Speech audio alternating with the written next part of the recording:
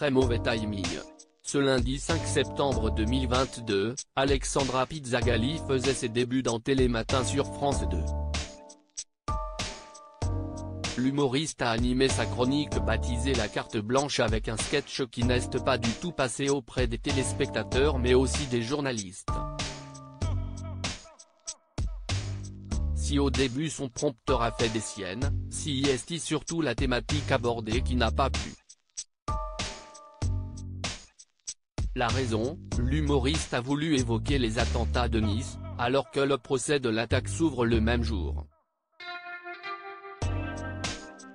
Alexandra Pizzagalli alors voulu faire de l'humour noir. Notamment au sujet de la mort du terroriste, Mohamed Lawesh Boulel, qui avant d'être abattu, a tué 86 personnes et blessé 500 spectateurs du feu d'artifice. Amateur de salsa et de musculation, pardonnez-moi mais cela ressemble pas mal à mon homme idéal, il semblerait qu'on soit sur le portrait d'un Ricky Martin de la Côte d'Azur, on valide.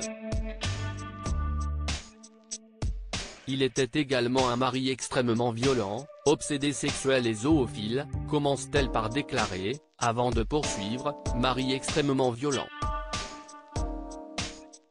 Elle l'avait peut-être cherché, en ratant une cuisson ou en donnant son avis. Obsédé sexuel, chacun ses hobbies. Après tout, il y en a bien qui regardent Télématin. Zoophile, en même temps à Nice, il n'y a que des vieilles et des chihuahuas, on a le droit de vouloir s'envoyer quelqu'un qui a des dents. Les internautes choqués par sa chronique sur Twitter, les internautes se sont alors lâchés et ont partagé leur colère face au sujet choisi par l'humoriste, si est qu'il nana haineuse qui met mal à l'aise tout le monde avec ses propos sur les attentats. Quelle vulgarité, même si je partage son point de vue, sur ces terroristes. Malaise sur le plateau, dans les chaumières j'imagine. Vous avez mis du temps à couper.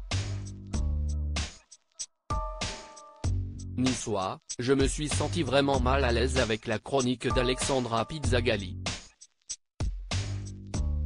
Heureusement que vous l'avez arrêté rapidement.